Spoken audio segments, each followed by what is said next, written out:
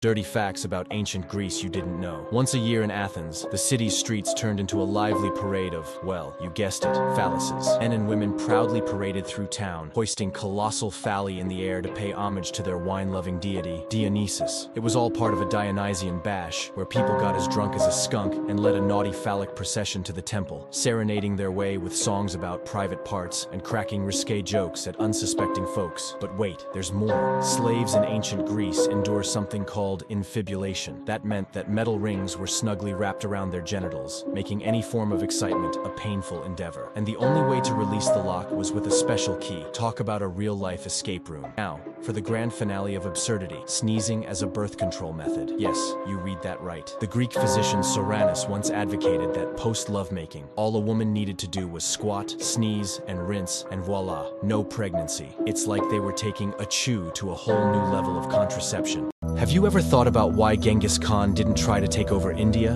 even though it was a rich and culturally diverse place? Well, there are some important reasons for that. First, there was a big natural barrier in the way. The land between Genghis Khan's empire and India was really tough to cross. His soldiers were used to open plains, not steep mountains and thick forests, so it would have been hard for them to get there. Also, Genghis Khan had his armies spread out in different places, so it would have been difficult to organize a big attack on India. It was just too far away and too big to conquer all at once. Another reason is that Genghis Khan was smart. He knew how powerful the Delhi Sultanate is, and so, instead of fighting everyone, he understood the value of making friends with nearby empires that weren't a threat to his ongoing campaigns. This way, he could focus on expanding his empire in other directions without worrying about enemies on all sides the weirdest pregnancy test in history, the wheat and barley test. Long ago, in ancient Egypt, there was a very strange way to check if someone might be pregnant. They would advise women who thought they might be pregnant to pee on some wheat and barley seeds over the course of a few days. If the wheat started to grow, they believed it meant the person was going to have a girl. If the barley grew, they thought it meant a boy. And if nothing grew, it meant they weren't pregnant at all. Surprisingly, this weird test actually worked. In the 1960s, scientists tried it in a lab and found that about 70% of the time, the urine of pregnant people made the seeds grow. But the urine of non-pregnant people did not. The reasons behind this phenomenon are not entirely clear, but it's believed that the hormonal changes in the urine of pregnant individuals might have contributed to the seed growth. The ancient Egyptian wheat and barley test, though bizarre to our modern sensibilities, had a surprising degree of accuracy and was a testament to the ingenuity of ancient cultures. Islam's resolute resistance against Mongol aggression was exemplified in the Battle of Ain Jalut, also known as the Battle of Goliath Spring, on September 3, 1260. Led by Sultan Qutuz and their renowned general Baibars, the Mamluks confronted the Mongols under the command of Kitbuga, a notable general serving Hulagu Khan in the Jezreel Valley. Although initially outnumbered, the Mongols held the advantage.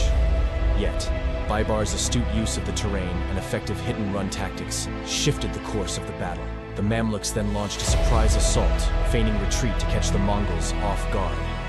Arrows rained down upon the unsuspecting Mongols while they were attacked on their flanks by cavalry. This intense battle lasted for hours, resulting in heavy Mongol casualties. Ultimately, the Mamluks emerged victorious, forcing the Mongol army to retreat and halting their threat to Egypt and Syria the Mamluks' triumph secured the survival of the Islamic world in the face of Mongol aggression. Did you know that February 15th marks the historical celebration of Lupercalia? This famous event, characterized by men running through the streets wearing garments made from sacrificed goats, a unique and vibrant expression of fertility and love. Lupercalia was a cherished annual tradition in ancient Rome, celebrated in honor of Faunus, the Roman god of agriculture, fertility, and shepherds. As part of the festivities, Men would run through the streets, their bodies draped in goatskin, searching for women. The goal was not to harm, but to playfully strike these women with leather thongs, known as februa. This act was thought to bring blessings of fertility, health, and safe childbirth to those touched. Being struck by the leather thongs was seen as a form of protection against infertility and the difficulties associated with childbirth. Over time, the festival of Lupercalia evolved and merged with other celebrations. Eventually, it transformed into the modern Valentine's Day, emphasizing love and affection rather than fertility rites. Did you know that the most successful pirate in history was a woman? Ching Shi, the world's most successful pirate, was once a lowly prostitute in China. Fate led her to an unexpected union with the commander of the Red Flag Fleet. But their union was hardly your typical tale of love. Her husband valued her as an equal and saw her genuine potential. From that moment, Ching Shi's destiny changed at that point, and she started leading the fleet's pirates as an active commander. She handled the perilous waters with tactical genius and unyielding resolve, leading her brave crew to incredible wins. Her legacy goes beyond the confines of gender norms, demonstrating the unbreakable character of a woman who defied expectations and attained the highest levels of authority. All who dared to face Ching Shi were terrified as her name reverberated across the oceans. With each conquest, her legend grew, inspiring us that strength knows no gender, and greatness can emerge even from unexpected origins. During the Middle Ages, a period characterized by prevalent superstitious beliefs, there existed a particularly daunting superstition that instilled deep fear in the populace. A significant number of devout individuals who regularly attended church placed great reliance on the notion that churches served as sanctuaries against malevolent forces. However, it is intriguing to note that a widely circulated belief suggested the possibility of demonic possession if one were to inadvertently fall asleep within the sacred confines of a church during a mass. While a few accounts detailing such incidents were recorded, none have been definitively substantiated. There persists speculation that these rumors may have been intentionally propagated by the church itself, with the objective of ensuring unwavering attentiveness among the congregation during religious ceremonies. I cordially invite you to share your perspectives on whether these superstitions stem from actual experiences or if they represent a strategic ploy devised by the church. Was Alexander the Great buried alive? According to a recent study, the long-standing enigma surrounding Alexander the Great's passing has been solved. This paper claims that Alexander died from a rare autoimmune condition that slowly paralyzed his muscles, leaving him voiceless and motionless for six painful days. It means that the ancient Macedonian ruler was likely still alive while his loyal soldiers prepared his body for burial in 323 BC. His muscles were paralyzed to the point that doctors couldn't see he was still breathing, meaning he was pronounced dead nearly a week early. Alexander the Great, a celebrated military genius, had established the largest empire in the ancient world through a series of remarkable conquests. Against odds, his army conquered Persian provinces, Asia Minor, Syria, and Egypt unscathed. However, his enigmatic death at 32 in Babylon baffled historians for years, with theories spanning typhoid, alcohol, and poisoning. Did you know that in 1494, Europe experienced the closest thing to a real-life zombie outbreak? This forgotten and gloomy chapter existed amidst the brilliant splendor of Italy's Renaissance. As the age of discovery progressed, brave sailors returning from the New World unintentionally brought a terrible plague. This silent intruder found its way into the ranks of an entire French army, which then became the unwitting carriers, spreading the great pox throughout Europe. The disease was permitted to spread unabated at the time due to the absence of medical developments. The results were nothing short of terrifying. Victims suffered the agony of having gruesome ulcers destroy their faces, the skin appearing to be rotting away. In some heartbreaking instances, the victims' noses, lips, and other body parts were completely removed, leaving them deformed and doomed to agony. This gruesome outbreak emerged as a real-world equivalent of a zombie apocalypse. Did you know that turkeys were once worshipped like gods? Turkeys held immense significance in ancient Mayan culture. Around 300 BC, the Mayans revered turkeys as vessels of the gods and incorporated them into religious rites. These birds symbolized power and prestige and were domesticated for their role in ceremonies. They appeared extensively in Maya iconography and archaeology, representing fertility, abundance, and spiritual connections. Today, while turkeys are favored as a Thanksgiving meal in America, their historical importance in Mayan civilization highlights their sacred status and cultural significance in ancient times. Did you know that there's a popular tale about Napoleon Bonaparte being attacked by bunnies during a rabbit hunt? Napoleon, renowned for his military prowess as the Emperor of the French, was an avid hunter. He enjoyed various hunting activities throughout his life. The description of the bunny onslaught as vicious and unstoppable adds a dramatic flair to the narrative, it paints a picture of an overwhelming force of bunnies charging fearlessly and relentlessly towards Napoleon and his men, catching them off guard and creating a chaotic scene amidst what was supposed to be a leisurely hunting activity. While the attack of the bunnies story may lack historical authenticity, it has become a popular legend associated with Napoleon. In the 13th century, Pope Gregory IV believed that black cats were instruments of evil, associated with Satan himself. Fueled by this belief, he ordered the elimination of cats throughout Europe. However, this decision had dire consequences that no one could have foreseen. Without the presence of feline predators, rat populations thrived and multiplied without restraint. The absence of cats, the natural predators of rats, disrupted the ecological balance, allowing the plague-carrying rats to spread the disease unchecked. And here's where it gets truly alarming. Rats were carriers of the bubonic plague, a deadly disease that swept through towns and cities, resulting in the devastating Black Death, claiming millions of lives and leaving a lasting impact on society. Did you know that between 1913 and 1915, people mailed their babies? On January 1st, 1913, post offices started accepting packages weighing more than four pounds, but there were no clear rules on what you could and couldn't send through the mail. People started pushing its boundaries right away by mailing eggs, bricks, snakes, and other odd packages. One couple immediately exploited this. Their newborn boy will be delivered using the Postal Service's new parcel service. The Beagles sent the boy to the mailman, who dropped him off a mile away at his grandmother's house, after they had paid 15 cents for his stamps, and an undisclosed sum to insure him for $1.50. The head curator of history at the National Postal Museum back then says she has found seven other instances of people mailing children between 1913 to 1915, beginning with that baby in Ohio. It wasn't common to mail your children, yet for long distances, it would have been cheaper to buy the stamps to send a kid by railway mail than to buy her a ticket on a passenger train. Did you know that in ancient times the Scythians, a nomadic people of Central Eurasia, employed a unique tactic in warfare? According to historical accounts, they utilized poisoned arrows as one of their specialties on the battlefield. These arrows were said to be tainted with a concoction consisting of viper venom, viper corpses, human blood, and feces?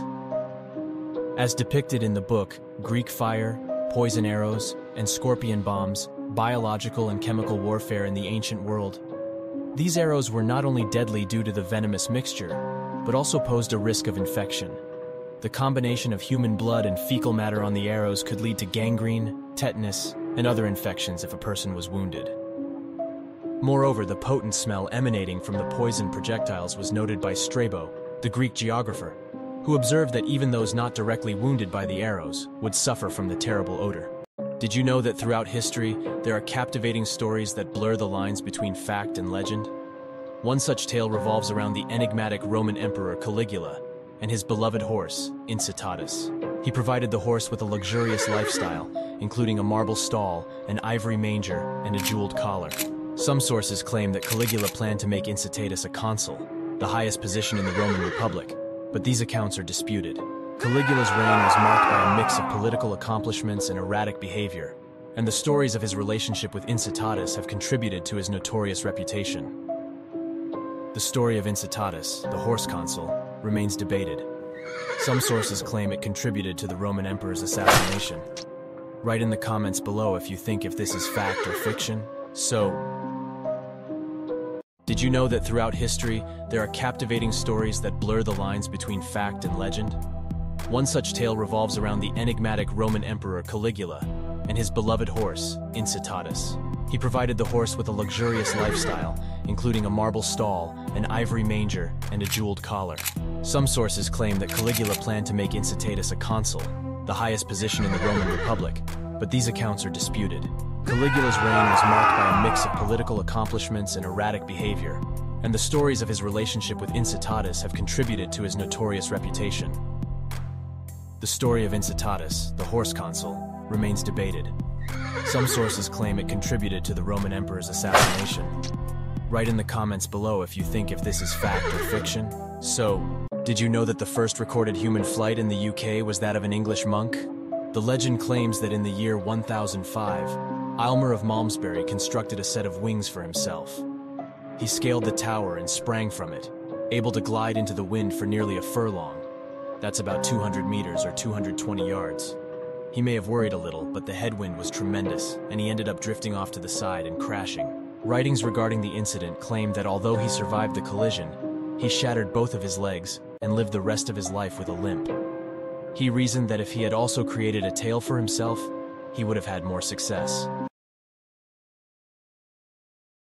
Did you know that contrary to popular belief, the story that witches were burned at the stake during the Salem witch trials is inaccurate? The misconception can be attributed to the association of witchcraft trials with burnings in different historical periods. In reality, during the trials in 1692 to 1693, only 20 individuals were convicted of witchcraft and sentenced to death, but they were hanged rather than burned. Although the Salem witch trials was a tragic and dark chapter in history, characterized by wrongful accusations and flawed legal proceedings, it is essential to emphasize that none of the convicted individuals were executed by burning, debunking the popular misconceptions surrounding the trials. Did you know that a heroic dog named Juliana earned two Blue Cross medals for her valorous deeds during World War II? One of her most amazing exploits involves urinating on a live bomb to put it out. Juliana, a Great Dane belonged to a family whose shoe shop in England was frequently bombarded throughout the war, particularly during the infamous Blitz period. When a shell fell through the roof of Juliana's owner's home in 1941, it didn't explode right away. Juliana approached the burning bomb and urinated on it in an act of extraordinary instinct or great nervousness, magically neutralizing the device. This brave action possibly saved everyone's lives because it stopped the bomb from causing extensive damage. The likelihood is high that the bomb's explosion would have destroyed the entire house and everyone inside, maybe setting off a fire that might have spread to nearby structures. What do you think? Was this just a case of chance, or was this the dog's natural desire to defend its owners? Did you know that a French ship sank nearby Hartlepool, England, during the Napoleonic Wars in the 19th century? According to legend, the lone survivor was a monkey decked out in military costume, whom the villagers mistook for a French spy. The monkey was then taken on trial, and then hanged as punishment. The legend of the monkey hangers has become a part of local folklore, with Hartlepool residents affectionately referred to by that term. It emphasizes the perils of making fast decisions and the tense atmosphere that characterizes times of war. Today, Hartlepool celebrates its distinctive moniker as a representation of its identity and sense of community, incorporating the legend into everyday customs. Did you know that between 1913 and 1915, people mailed their babies? On January 1st, 1913, Post offices started accepting packages weighing more than four pounds, but there were no clear rules on what you could and couldn't send through the mail. People started pushing its boundaries right away by mailing eggs, bricks, snakes, and other odd packages. One couple immediately exploited this. Their newborn boy will be delivered using the Postal Service's new parcel service. The Beagles sent the boy to the mailman, who dropped him off a mile away at his grandmother's house, after they had paid 15 cents for his stamps and an undisclosed sum to insure him for $50.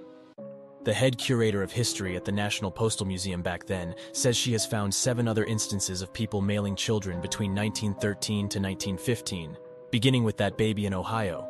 It wasn't common to mail your children, yet for long distances, it would have been cheaper to buy the stamps to send a kid by railway mail than to buy her a ticket on a passenger train. Did you know that in the 19th century, when understanding of asthma was limited, Doctors would occasionally prescribe smoking as a remedy. The belief was that inhaling tobacco smoke could relax the bronchial tubes and alleviate asthma symptoms. However, this practice stemmed from misconceptions and an incomplete understanding of the risks involved. At that time, the negative health effects of smoking were not widely recognized. As medical knowledge evolved, it became clear that smoking posed significant hazards and worsened respiratory conditions. Today, Smoking is universally discouraged as a treatment for asthma due to its harmful effects.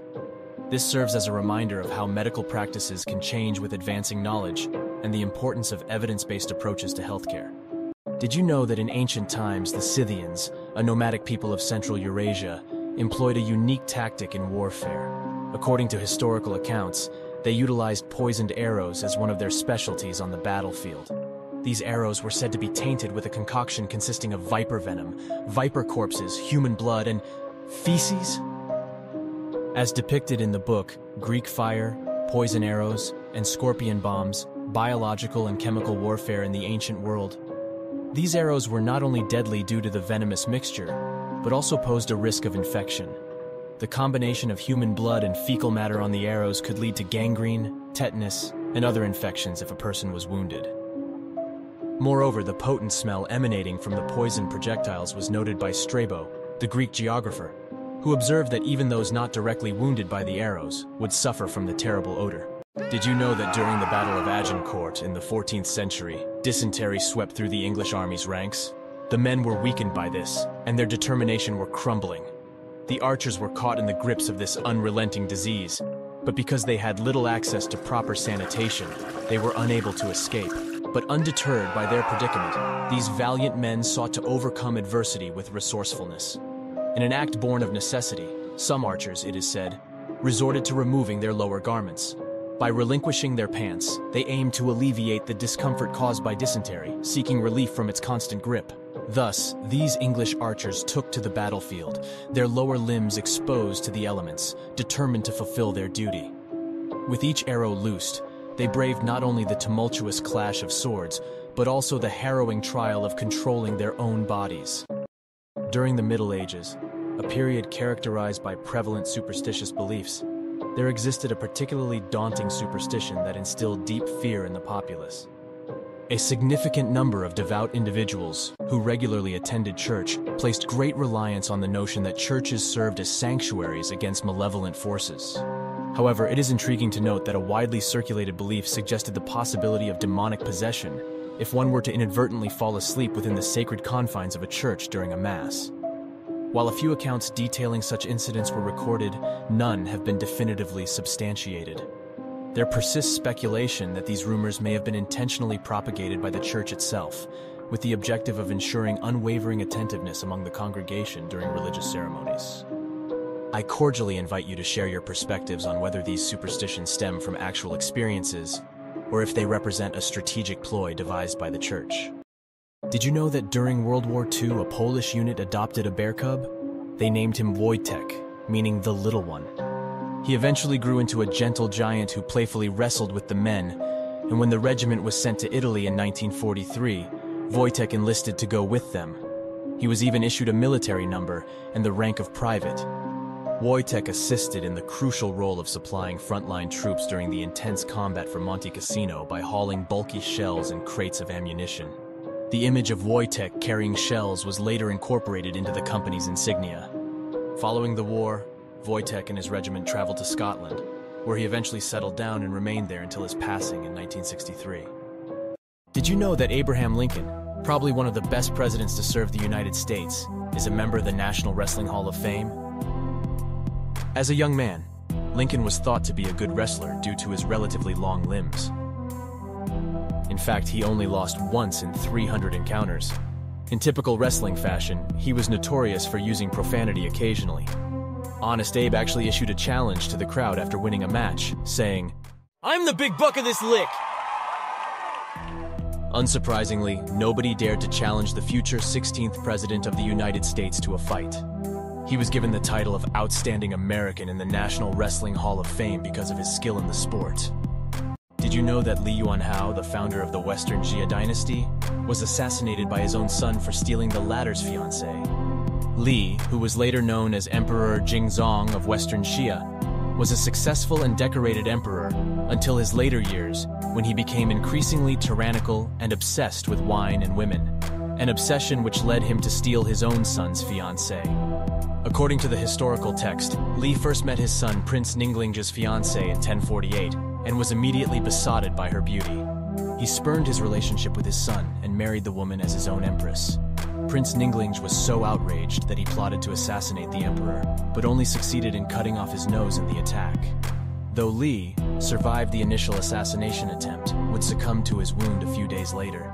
Did you know that King Wu of Qin, a formidable warlord in ancient Qin during the Warring States era, died while attempting to lift a bronze cooking pot? King Wu was a powerful man who used an iron fist of tyranny he once challenged Meng Yue, a friend of his, to lift a fabled bronze cooking pot known as a ding. Lifting the ding, which represented imperial might, was regarded as a sign of power and dominance.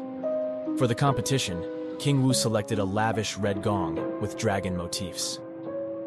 As he attempted to lift it, his grip slipped, and the ding crushed his leg, leading to his death. Meng Yue was unjustly blamed and received a death sentence. This tragic story serves as a warning on the dangers of overconfidence.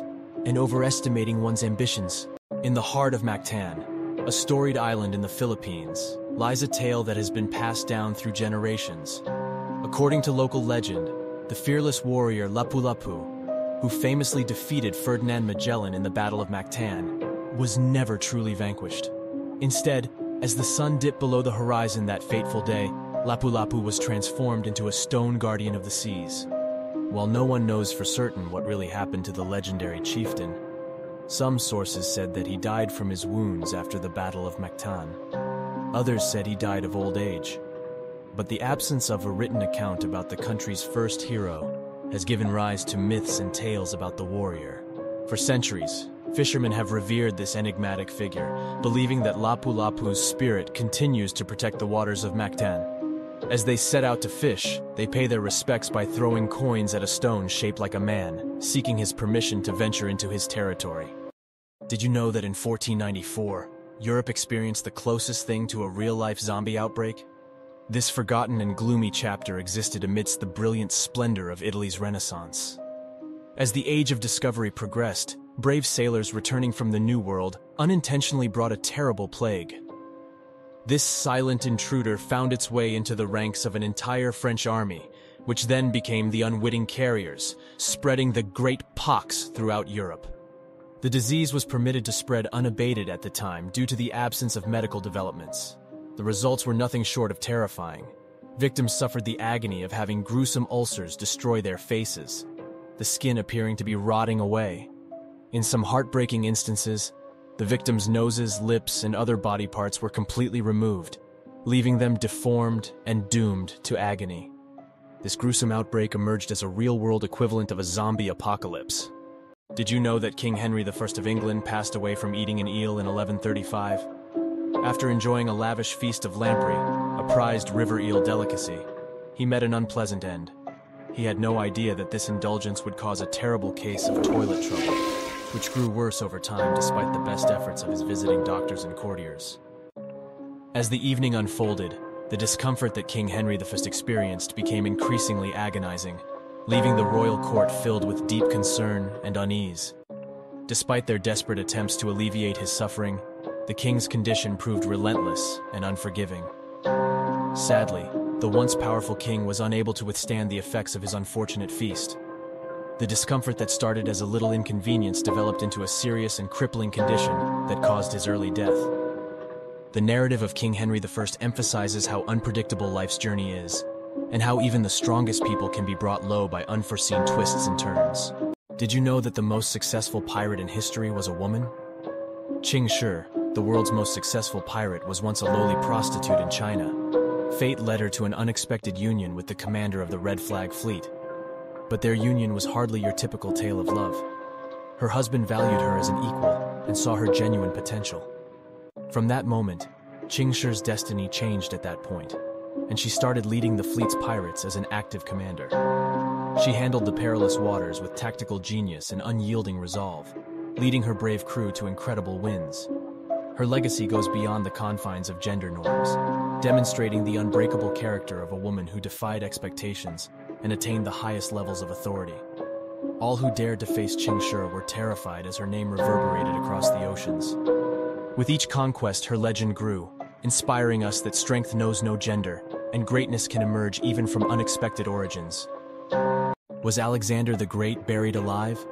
According to a recent study, the long-standing enigma surrounding Alexander the Great's passing has been solved. This paper claims that Alexander died from a rare autoimmune condition that slowly paralyzed his muscles, leaving him voiceless and motionless for six painful days.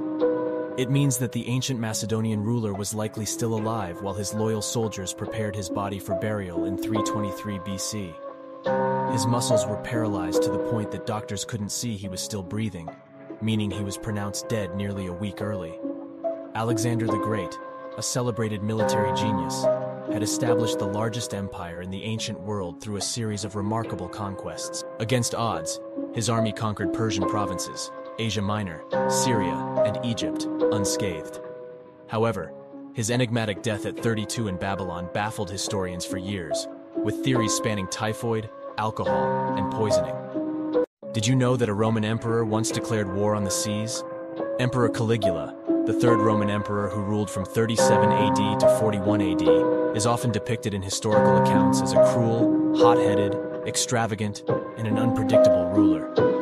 While on his way home from a failed invasion of Britain, feeling embarrassed and his pride wounded, he sought a spectacle to mask his retreat. It would be embarrassing to go home empty-handed, right? In an astonishing display of audacity, he declared war on none other than Neptune, the god of the sea. To his bewildered troops, the order was clear. Whip the restless waves into submission and bring forth the spoils of victory in the form of seashells. The absurdity of it all left the soldiers torn between disbelief and fear. For who would dare challenge a deity that governed the vast expanse of the ocean?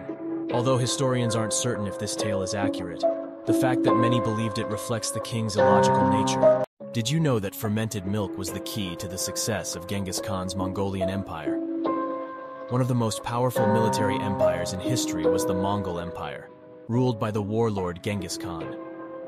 Many factors led to their incredibly successful campaigns, including their warriors' high level of discipline, their skill with horses and archery, and their adaptability in absorbing and applying the methods and technology of those they battled and conquered. Over 9 million square miles and a fourth of the world's population were once under the rule of the Mongol Empire. In the present era, it is nearly impossible to even consider such a high level of military dominance. One beverage in particular was beloved by the Mongols, given great societal importance and even some level of mystical power. The milk of the horses that were used to transport their armies was fermented to create arag. The finished arag had a low alcohol concentration of about 2% and a great nutritional value. Do you know who was the deadliest sniper in history? During World War II, a Finnish farmer named Simo Häyhä rose to fame as a famed sniper, taking on the Soviet Red Army with unparalleled accuracy with his trusty Mosin Nagant rifle. He acquired the moniker White Death after blending in with the wintry surroundings while dressed in a white camouflage outfit. In just 100 days, he recorded 505 confirmed kills, terrorizing his adversaries.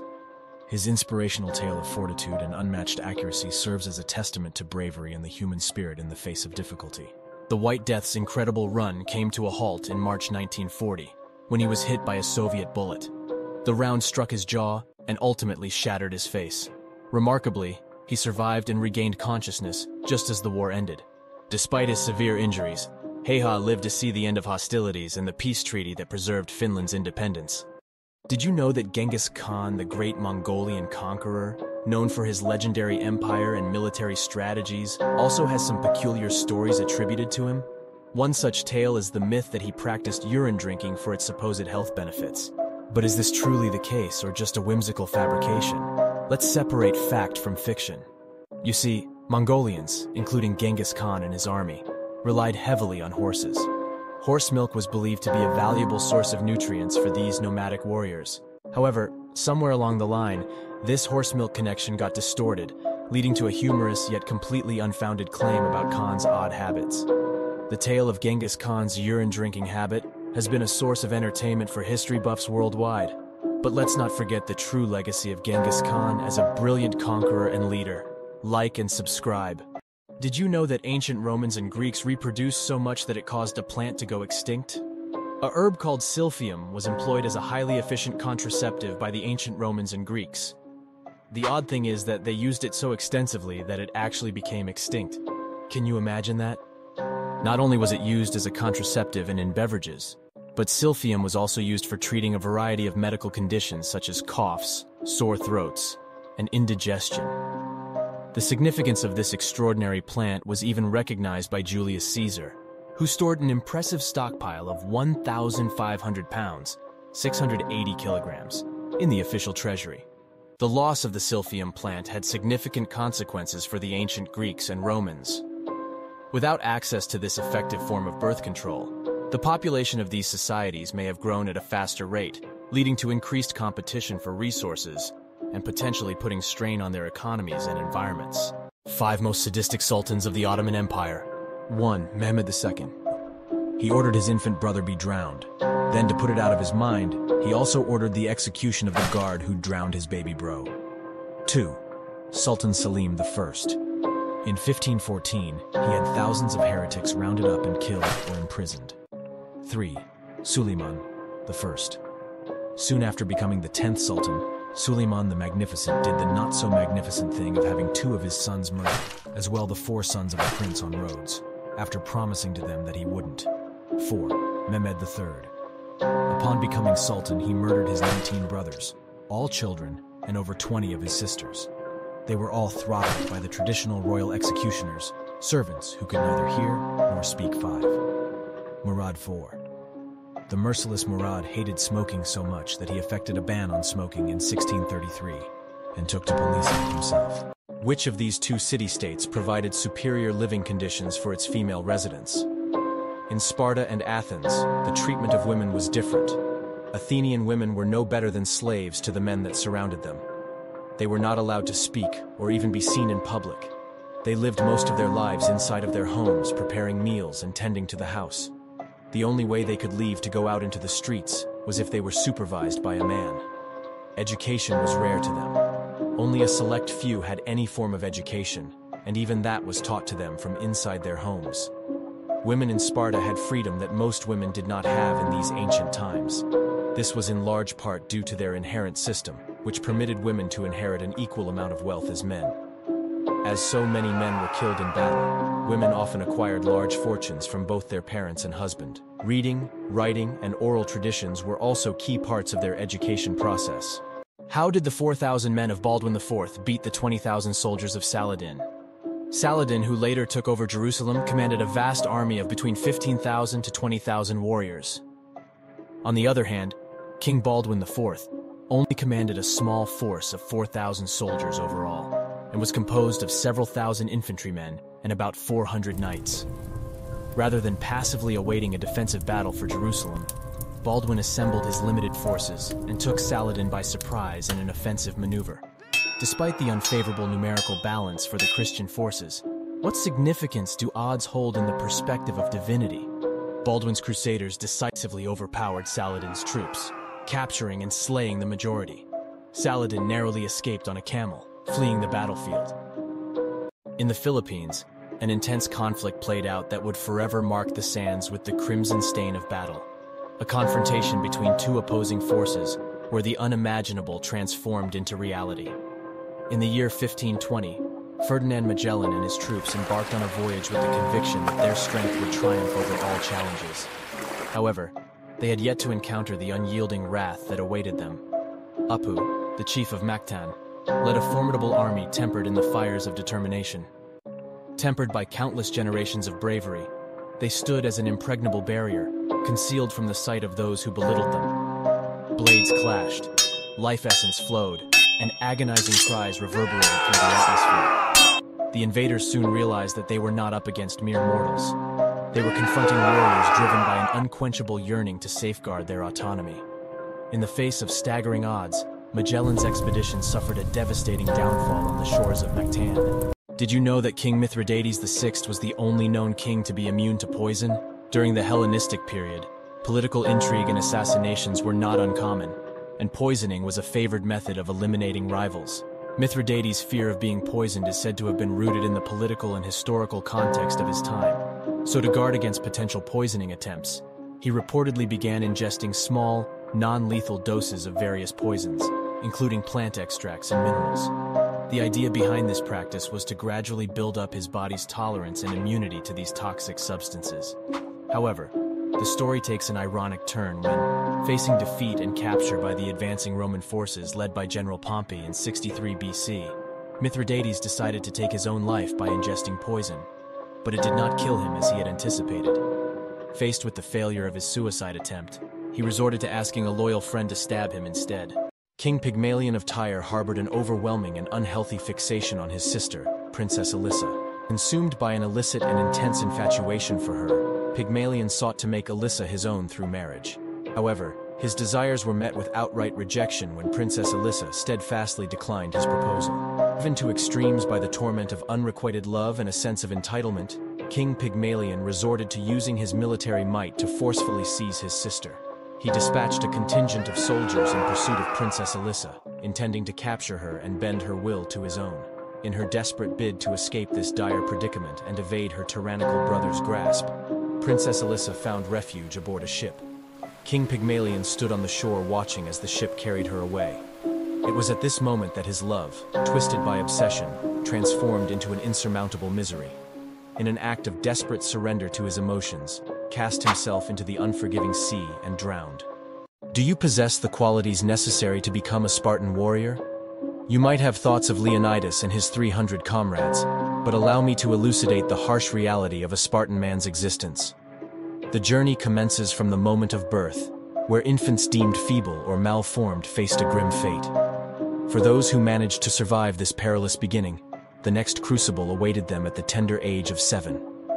Spartan boys were forcibly separated from their mothers and thrust into rigorous physical combat and battle training, where there was no room for vulnerability or sentiment. Then, at the age of 12, the ultimate trial commenced. Abandoned in the wilderness, they had to grapple with survival and self-sufficiency, where only the most robust could emerge victorious. Even after enduring all these trials, one would serve until the age of 60, if they reached that far, for many did not. So, I pose the question.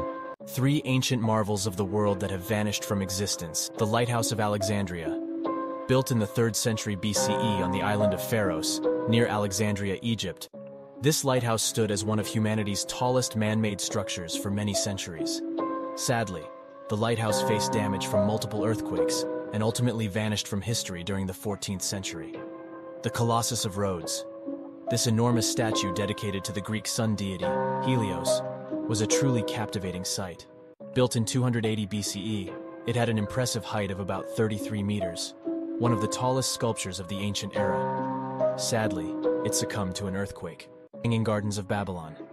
This marvel was purportedly built by King Nebuchadnezzar II for his wife, who longed for the lush hills and valleys of her homeland. While no archaeological traces of these gardens have been uncovered, various ancient writings vividly depict a scene of luxuriant foliage, exotic flora, and intricate water systems.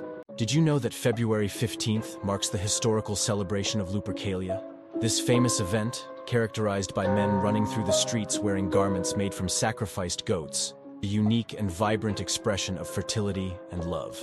Lupercalia was a cherished annual tradition in ancient Rome, celebrated in honor of Faunus, the Roman god of agriculture, fertility, and shepherds. As part of the festivities, men would run through the streets, their bodies draped in goatskin, searching for women. The goal was not to harm, but to playfully strike these women with leather thongs, known as februa. This act was thought to bring blessings of fertility, health, and safe childbirth to those touched. Being struck by the leather thongs was seen as a form of protection against infertility and the difficulties associated with childbirth. Over time, the festival of Lupercalia evolved and merged with other celebrations. Eventually, it transformed into the modern Valentine's Day, emphasizing love and affection rather than fertility rites. Did you know that in 1923, Germany put Adolf Hitler in prison? During that year, Hitler led an unsuccessful coup known as the Beer Hall Putsch, with the aim of overthrowing the German government. However, this venture ended in failure, resulting in his imprisonment. He was subsequently convicted of treason and handed a five-year sentence in Landsberg prison. While serving his time in prison, Hitler found the opportunity to write a significant piece of work which laid out his future ambitions. This book was completed on December 20th, 1924. Remarkably, Hitler was released after just nine months of his five-year sentence. His time in jail had a profound impact on him, granting him a platform to disseminate his ideas and gather crucial support. Upon his release, Hitler's influence grew significantly, marking the inception of the Nazi Party. Incredibly, Hitler's period of imprisonment played a pivotal role in shaping world history. Insane laws people had to live by in ancient Rome. Part 1 1. Prostitutes were required to dye their hair blonde or wear blonde wigs. Roman ladies all had naturally black hair. Natural blondes in Roman time were barbarians, especially the Gauls. Since the prostitutes couldn't be associated with the dignity of a proper Roman woman, they had to make themselves look like barbarians, so they made them dye their hair. 2. People killed by thunderbolts couldn't be buried. Lightning strikes, the Romans believed, were acts of God performed by Jupiter. If something got hit by a lightning bolt, it wasn't bad luck. Jupiter just really hated it. Whether it was a tree or a person, Jupiter had decided it was time for it to go. If it was your friend who got hit, you were legally forbidden to lift the body above the knees, and you definitely couldn't bury his body. If you did, You'd stolen a sacrifice from Jupiter. Have you ever wondered how a drinking session led to a significant conflict? The Battle of Karansebes stands as a legendary event that transpired during the Austro-Turkish War in 1788. Tensions were high in the Austrian camp as the Ottoman Empire's forces approached. As the night fell on September 21, 1788, Austrian soldiers encountered the Roma cellars and decided to indulge in some alcoholic beverages. What started as a harmless drinking gathering quickly escalated into a tumultuous spectacle. A dispute erupted between infantry and cavalry units, sparking a chaotic melee. Amidst the chaos, shots were fired, and panic overwhelmed the encampment. Panicked soldiers believed they were under attack by the Ottoman army. In a tragic case of mistaken identity, they began firing at anything that moved. The night turned into a scene of unimaginable chaos, with hundreds of soldiers dead, injured, and hangover by morning. What made this battle astonishing is that the Ottomans hadn't even reached the area. Have you ever wondered how a drinking session led to a significant conflict? The Battle of Karansebes stands as a legendary event that transpired during the Austro-Turkish War in 1788. Tensions were high in the Austrian camp as the Ottoman Empire's forces approached. As the night fell on September 21, 1788, Austrian soldiers encountered the Roma cellars and decided to indulge in some alcoholic beverages. What started as a harmless drinking gathering quickly escalated into a tumultuous spectacle. A dispute erupted between infantry and cavalry units, sparking a chaotic melee. Amidst the chaos, shots were fired, and panic overwhelmed the encampment. Panicked soldiers believed they were under attack by the Ottoman army. In a tragic case of mistaken identity, they began firing at anything that moved. The night turned into a scene of unimaginable chaos, with hundreds of soldiers dead, injured, and hangover by morning. What made this battle astonishing is that the Ottomans hadn't even reached the area. Islam's resolute resistance against Mongol aggression was exemplified in the Battle of Ain Jalut, also known as the Battle of Goliath Spring, on September 3, 1260. Led by Sultan Qutuz and their renowned general Baybars, the Mamluks confronted the Mongols under the command of Kitbuka, a notable general serving Hulagu Khan in the Jezreel Valley. Although initially outnumbered, the Mongols held the advantage. Yet, Baybar's astute use of the terrain and effective hit-and-run tactics shifted the course of the battle. The Mamluks then launched a surprise assault, feigning retreat to catch the Mongols off guard. Arrows rained down upon the unsuspecting Mongols while they were attacked on their flanks by cavalry. This intense battle lasted for hours, resulting in heavy Mongol casualties. Ultimately, the Mamluks emerged victorious, forcing the Mongol army to retreat and halting their threat to Egypt and Syria the Mamluks' triumph secured the survival of the Islamic world in the face of Mongol aggression. Islam's resolute resistance against Mongol aggression was exemplified in the Battle of Ain Jalut, also known as the Battle of Goliath Spring, on September 3, 1260. Led by Sultan Qutuz and their renowned general Baybars, the Mamluks confronted the Mongols under the command of Kitbuka, a notable general serving Hulagu Khan in the Jezreel Valley. Although initially outnumbered, the Mongols held the advantage. Yet, Baybar's astute use of the terrain and effective hit-and-run tactics shifted the course of the battle. The Mamluks then launched a surprise assault, feigning retreat to catch the Mongols off guard. Arrows rained down upon the unsuspecting Mongols while they were attacked on their flanks by cavalry. This intense battle lasted for hours, resulting in heavy Mongol casualties. Ultimately, the Mamluks emerged victorious, forcing the Mongol army to retreat and halting their threat to Egypt and Syria. The Mamluks' triumph secured the survival of the Islamic world in the face of Mongol aggression. Have you ever thought about why Genghis Khan didn't try to take over India, even though it was a rich and culturally diverse place? Well, there are some important reasons for that. First, there was a big natural barrier in the way. The land between Genghis Khan's empire and India was really tough to cross. His soldiers were used to open plains, not steep mountains and thick forests, so it would have been hard for them to get there. Also, Genghis Khan had his armies spread out in different places, so it would have been difficult to organize a big attack on India. It was just too far away and too big to conquer all at once. Another reason is that Genghis Khan was smart. He knew how powerful the Delhi Sultanate is, and so, instead of fighting everyone, he understood the value of making friends with nearby empires that weren't a threat to his ongoing campaigns. This way, he could focus on expanding his empire in other directions without worrying about enemies on all sides. the weirdest pregnancy test in history, the wheat and barley test.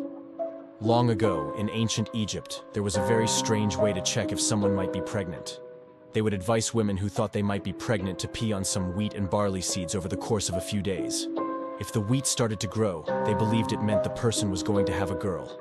If the barley grew, they thought it meant a boy. And if nothing grew, it meant they weren't pregnant at all. Surprisingly, this weird test actually worked. In the 1960s, scientists tried it in a lab and found that about 70% of the time, the urine of pregnant people made the seeds grow. But the urine of non-pregnant people did not. The reasons behind this phenomenon are not entirely clear, but it's believed that the hormonal changes in the urine of pregnant individuals might have contributed to the seed growth.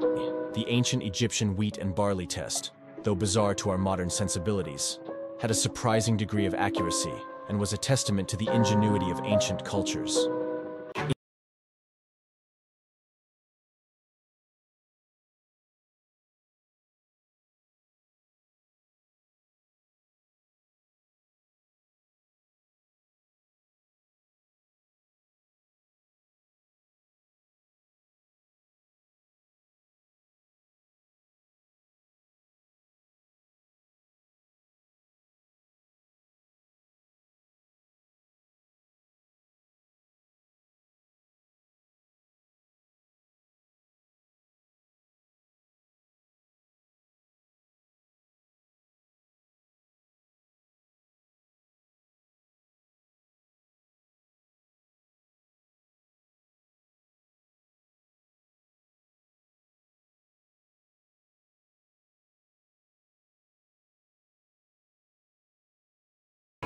Insane and Bizarre Customs in History, Part 1. In ancient Rome, the beauty industry was truly unique. Forget about fancy serums and lotions. Roman ladies preferred pots filled with gladiator sweat as their skincare secret. Rumor has it they thought it gave them a gladiator-like glow. Perhaps it's time to raid the gym locker room for some DIY facial treatments? Now, the Vikings, oh boy, they had quite the send-off for their masters. When a master passed away, a slave girl was expected to join him in the afterlife. But before her grand exit, she had to play a little game of Viking Tinder with a man from every household. Talk about an otherworldly experience. Lastly, the Egyptians, well, they had a rather crappy contraceptive method, crocodile dung. Yep, you read that right. It might have worked, but let's face it, who's in the mood for romance when your love nest smells like a reptilian restroom? Dirty facts about ancient Greece you didn't know. Once a year in Athens, the city's streets turned into a lively parade of, well, you guessed it, phalluses. Men and women proudly paraded through town, hoisting colossal phalli in the air to pay homage to their wine-loving deity, Dionysus. It was all part of a Dionysian bash, where people got as drunk as a skunk and led a naughty phallic procession to the temple, serenading their way with songs about private parts and cracking risque jokes at unsuspecting folks. But wait, there's more. Slaves in ancient Greece endure something called called infibulation. That meant that metal rings were snugly wrapped around their genitals, making any form of excitement a painful endeavor. And the only way to release the lock was with a special key. Talk about a real-life escape room. Now, for the grand finale of absurdity, sneezing as a birth control method. Yes, you read that right. The Greek physician Soranus once advocated that post-lovemaking, all a woman needed to do was squat, sneeze, and rinse, and voila, no pregnancy. It's like they were taking a chew to a whole new level of contraception. Did you know that in 161 AD, Roman Emperor Antoninus Pius passed away in the most embarrassing manner possible? Antoninus was a rare diamond among Roman emperors. He was adored by his followers, famous for his moderation and sound counsel, and lucky enough to escape the wrath of envious rivals or displeased relatives. He actually had a long and successful life, living to the amazing age of 75, before a sudden culinary tragedy struck him. According to legend, Antoninus indulged in a decadent alpine cheese one fatal evening while eating dinner. He had no idea that his passion for fromage would lead to his downfall. He awoke the next morning suffering from a severe fever that showed no mercy. The old emperor's plight progressively got worse as the days went by, eventually leading to his death. This beloved emperor, who was known for having a sophisticated palate, spent his final years in his opulent house in the town of Lorium, where he met his cheesy demise. Did you know that Cleopatra and Mark Antony, in 41 BC, founded a drinking club known as the Inimitable Livers. This exclusive club was purportedly dedicated to the Greek deity Dionysus. the god of wine and festivities. Cleopatra and Mark Antony, known for their opulent lifestyles, established this extraordinary gathering to honor and celebrate the divine essence of wine and revelry. They played jokes on Egyptians while disguising themselves, gave expensive dinners, and enjoyed in drinking. It's still unclear what the club was for. Some people think it was to glorify Dionysus, while others see it as a cover for Vice. Despite doubts, this episode emphasizes Mark Antony and Cleopatra's lavish lifestyle and their pursuit of fun and celebration. Did you know that a French ship sank nearby Hartlepool, England, during the Napoleonic Wars in the 19th century? According to legend, the lone survivor was a monkey decked out in military costume, whom the villagers mistook for a French spy. The monkey was then taken on trial and then hanged as punishment. The legend of the monkey hangers has become a part of local folklore, with Hartlepool residents affectionately referred to by that term.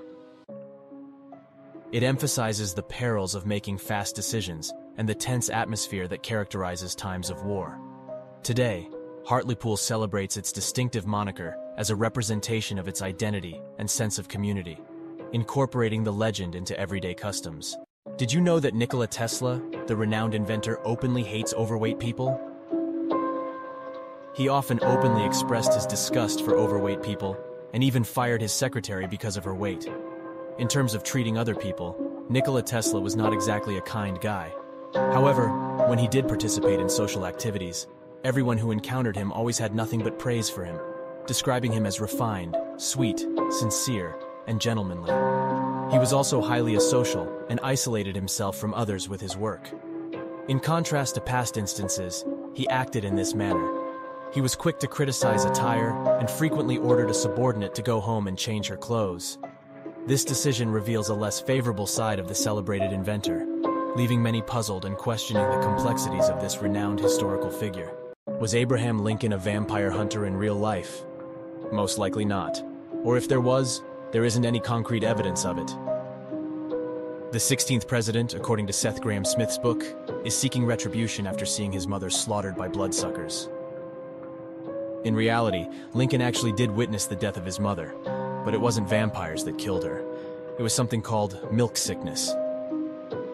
When Abraham Lincoln was nine, Nancy Hanks Lincoln passed away. She caught the illness through consuming cow's milk that had been fed white snake root. Puking fever, sick stomach, weakness, severe muscle stiffness, bad breath, trembles, and eventually coma followed by death were common symptoms for milk sickness. Truth be told, that sounds a lot worse than vampires. Did you know that between 1913 and 1915, people mailed their babies? On January 1st, 1913, post offices started accepting packages weighing more than four pounds, but there were no clear rules on what you could and couldn't send through the mail. People started pushing its boundaries right away by mailing eggs, bricks, snakes, and other odd packages. One couple immediately exploited this. Their newborn boy will be delivered using the Postal Service's new parcel service. The Beagles sent the boy to the mailman, who dropped him off a mile away at his grandmother's house, after they had paid 15 cents for his stamps, and an undisclosed sum to insure him for $1.50. The head curator of history at the National Postal Museum back then says she has found seven other instances of people mailing children between 1913 to 1915, beginning with that baby in Ohio. It wasn't common to mail your children, yet for long distances, it would have been cheaper to buy the stamps to send a kid by railway mail than to buy her a ticket on a passenger train. Did you know that a heroic dog named Juliana earned two Blue Cross medals for her valorous deeds during World War II? One of her most amazing exploits involves urinating on a live bomb to put it out. Juliana, a Great Dane belonged to a family whose shoe shop in England was frequently bombarded throughout the war, particularly during the infamous Blitz period. When a shell fell through the roof of Juliana's owner's home in 1941, it didn't explode right away. Juliana approached the burning bomb and urinated on it in an act of extraordinary instinct or great nervousness, magically neutralizing the device. This brave action possibly saved everyone's lives because it stopped the bomb from causing extensive damage. The likelihood is high that the bomb's explosion would have destroyed the entire house and everyone inside, maybe setting off a fire that might have spread to nearby structures. What do you think? Was this just a case of chance or was this the dog's natural desire to defend its owners? Did you know that a French ship sank nearby Hartlepool, England during the Napoleonic Wars in the 19th century? According to legend, the lone survivor was a monkey decked out in military costume, whom the villagers mistook for a French spy. The monkey was then taken on trial and then hanged as punishment. The legend of the monkey hangers has become a part of local folklore, with Hartlepool residents affectionately referred to by that term. It emphasizes the perils of making fast decisions and the tense atmosphere that characterizes times of war. Today, Hartlepool celebrates its distinctive moniker as a representation of its identity and sense of community, incorporating the legend into everyday customs.